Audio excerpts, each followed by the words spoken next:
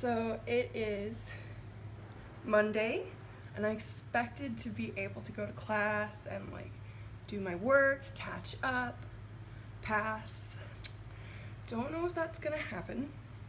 Uh, I have found it very difficult to go to class uh, mentally. So instead of going to my drawing class today, I'm going to take public transit all by myself and go to Minnehaha Falls for a hike. Let's get to that bus stop!